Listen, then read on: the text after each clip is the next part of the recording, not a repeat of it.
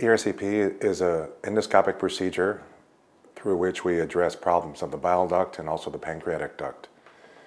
People can have various bile duct issues such as uh, bile duct stones, a bile duct stricture, a tumor blocking the bile duct, and for this we can do an ERCP and solve the problem either by removing a stone, possibly putting in a stent. ERCP is also used for pancreatic disorders in which we deal with the problem very similarly, but we're not in the bile duct, but we're in the pancreatic duct. The indications for ERCP can roughly be broken down into biliary or pancreatic indications. The most common biliary indication, far and away, is management of common bile duct stones.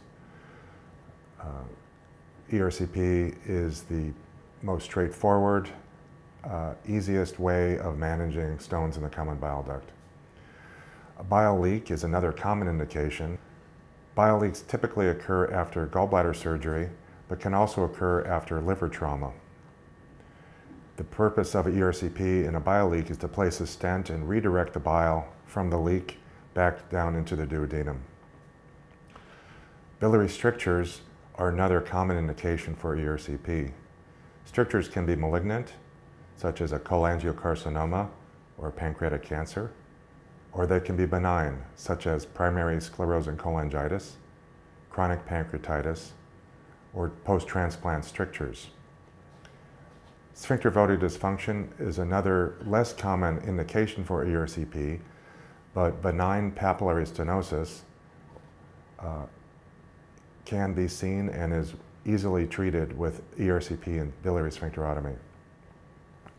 As far as pancreatic indications, there are indications for management of chronic pancreatitis in patients with pancreatic duct strictures. Patients with pancreatic duct stones can also often be managed by ERCP. Patients with recurrent acute pancreatitis that can be traced to a biliary or pancreatic origin, in some cases may be well treated with ERCP. An example would be minor papillotomy to treat recurrent acute pancreatitis associated with pancreas divisum.